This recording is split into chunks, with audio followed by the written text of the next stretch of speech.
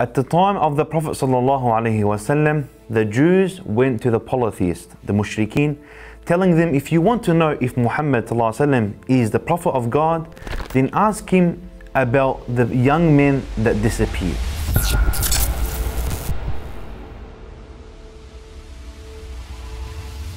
So the mushrikeen went and asked the Prophet ﷺ, and then Allah subhanahu wa ta'ala revealed the story in Surah Al-Kahf.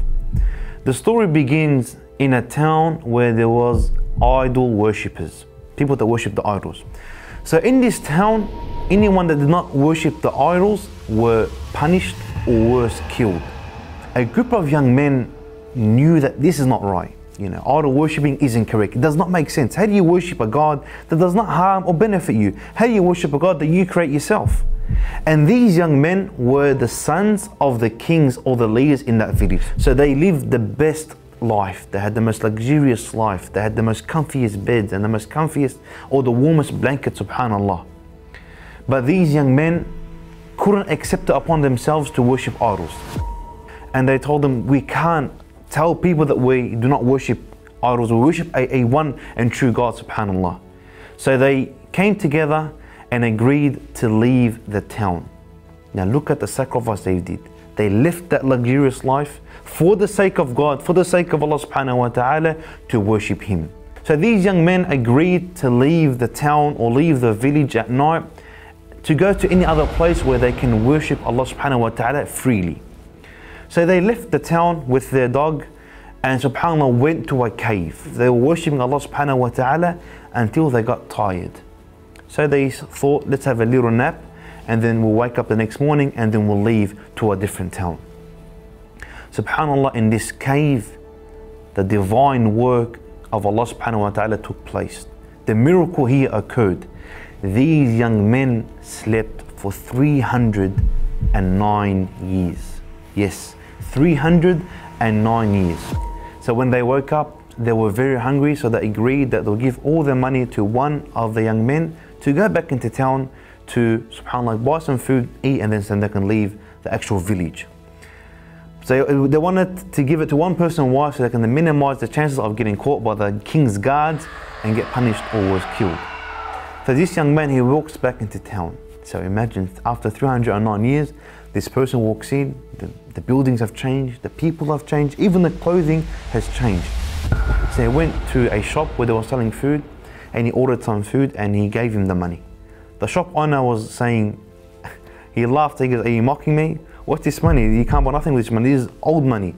So this man was saying, what do you mean it's old money? It's, you know, subhanAllah, it's normal money. So he was confused. So the shop owner didn't believe him. He grabbed him, took him to the king, or took him to the leader at that time. So this king started to question him. Where'd you get the money from? Who are you? Who's your father? So this man out of fear, he started to telling, tell him everything. Oh, we just left last night and we didn't want to get caught by your guards and we left to worship Allah subhanahu wa ta'ala. And he goes, I am the son of such and such. The king asked him, who, who, who are you with? He goes, my friends who are also sons of such and such. The king was baffled. He was shocked. He goes, take me to the cave. So the young man took him to the cave and subhanAllah, the young men were there the king told them the story that you guys have been absent for 309 years because their story, them, the, the mystery, that them being missing for, for centuries was always mentioned. Where did these young men go? Did they die? Where are they? So the king told them the story. Subhanallah, they, he gave them such an iman boost, subhanallah, where that Allah subhanahu wa ta'ala saved them from a, a very evil town. When you sacrifice something from this life for the hereafter, Allah subhanahu wa ta'ala gifts you Jannah, paradise, where the width of it is the size of heaven and earth. So imagine these young men, they left a luxurious life to sleep in a cave or to leave a town where they had everything for the sake of Allah subhanahu wa ta'ala. You must believe and know that when Allah subhanahu wa ta'ala is with you, it doesn't matter who's against you because eventually the power of Allah subhanahu wa ta'ala will prevail. One of the lessons we can take from this amazing story is that these young men, they left an evil environment to worship Allah subhanahu wa ta'ala. Something that me and you face. if our friends are evil, if we're in an e- evil environment, we must leave those friends to work on ourselves to get closer to Allah subhanahu wa ta'ala. So these are some of the lessons we can take from this story. This is a summarized form. Let us listen to it inshallah with our friends and families so we can all benefit بإذن الله عز وجل. أقول قولي هذا والسلام عليكم ورحمة الله وبركاته.